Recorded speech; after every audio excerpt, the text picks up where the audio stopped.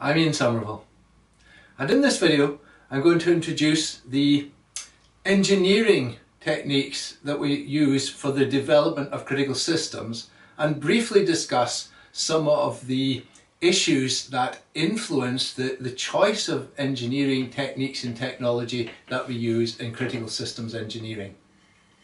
I'll be following this up with other videos that look at some of these techniques in more detail. Let me start by reminding you about critical systems.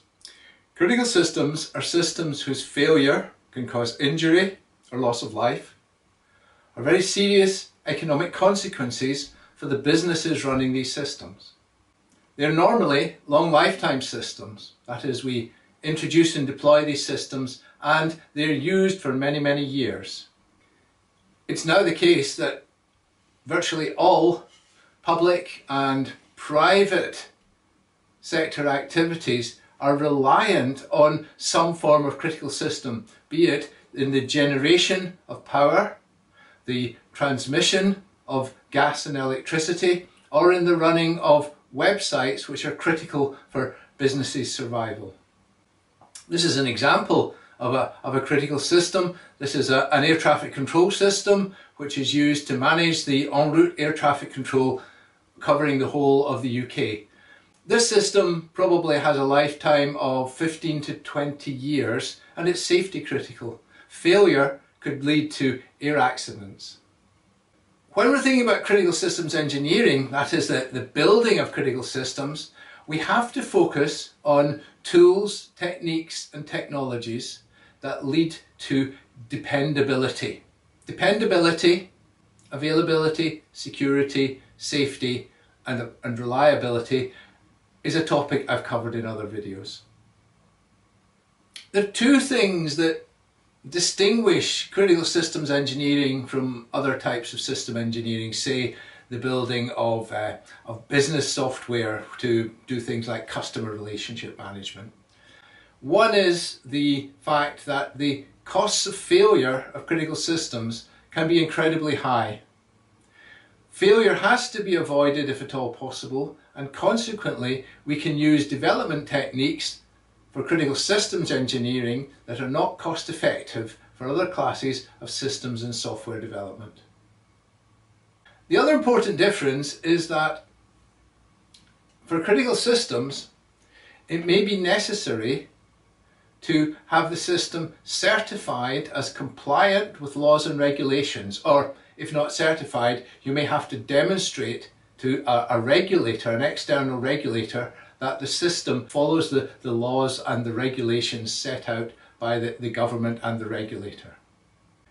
Regulators are government bodies whose job is to ensure that safety and security standards are upheld and that companies and any other organisation behave in such a way that is conformant to national and international laws. This involves a degree of interpretation of these laws and the establishment of rules and regulations which govern and which regulate the activities in a particular area. And the regulator has to ensure that all of the companies working in that area follow those rules and regulations. Here are some examples of regulators in the UK the Bank of England is responsible for some financial regulation. The Office for Nuclear Regulation is concerned with systems used in the nuclear industry and the Office for Rail Regulation with systems used in the rail industry. The Civil Aviation Authority is responsible for both onboard and ground aviation systems such as air traffic control systems. And the Information Commissioner's Office is responsible for ensuring that companies conform to the secure and legal management of data, personal data, as set out in the Data Protection Act.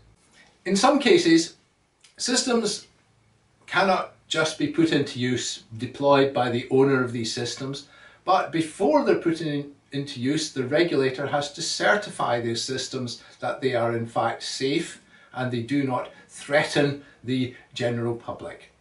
Examples of systems which have to be certified are aviation systems, nuclear systems, railway systems, and some kinds of medical systems, not actually all medical systems.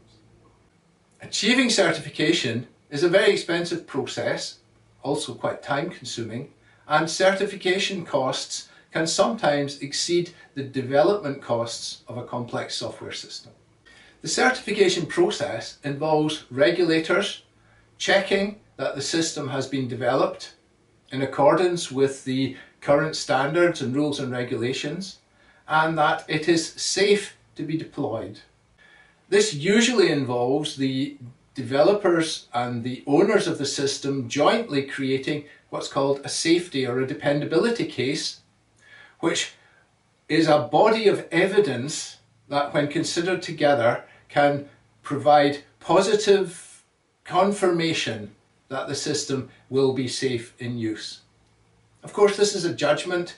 We cannot ever make things completely safe, but the job of the regulator is to ensure that a system is as safe as it possibly can be.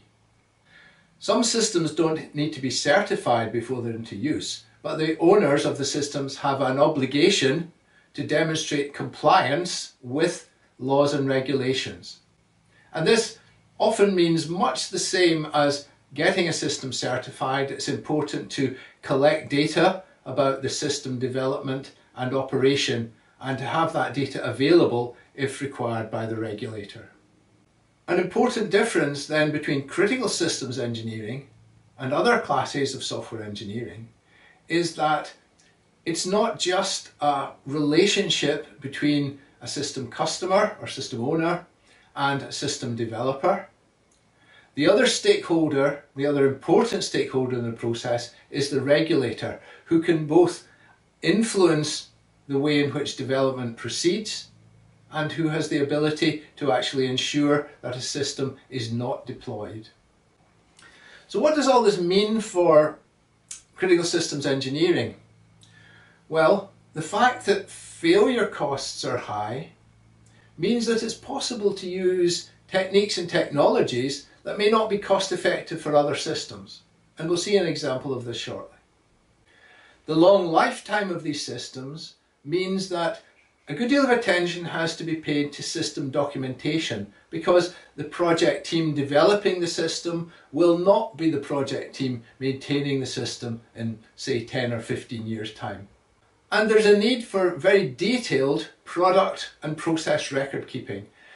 The process and product records are part of the information that is provided to the regulator and they are used to convince the regulator that uh, due process has been followed in the system development. Because of the need for documentation and a, a very detailed analysis of the system specification, it's usually the case that critical systems are developed using a plan-driven rather than an agile process. As part of that, it's essential to have a description of the system requirements and more detailed specification that is as complete as possible. It should say everything that we intend to have in the delivered system.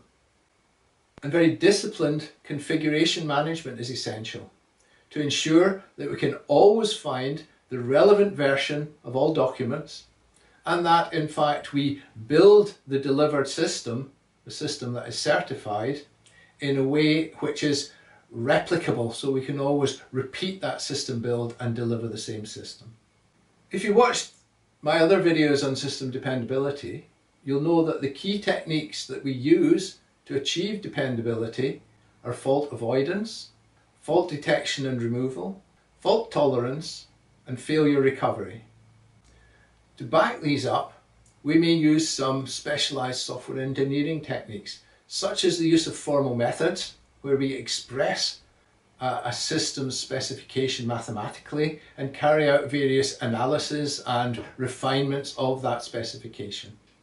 We may use static analyzers and model checkers that can actually detect problems in a program which may not be easily detectable using system testing.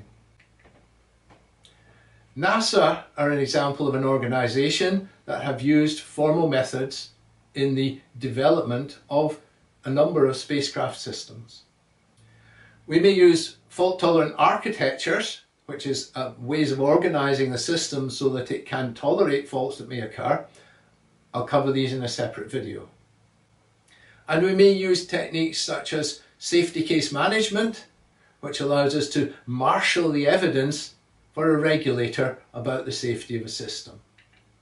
This is an example of a, a safety case editor developed by a company called Adelard, which allows the checking of systems and the safety case against the appropriate standards. Critical systems engineering focuses on the tools, techniques and technologies for developing reliable and secure systems. The critical systems engineering process may have to collect and collate information that's used by a regulator in the certification of the system. Normally, a plan-based process is used for critical systems engineering rather than an agile process. Tools, techniques and technologies that are not cost effective for other types of software en engineering may be used and may be effective for critical systems engineering. You can download the slides that accompany this video from my SlideShare account.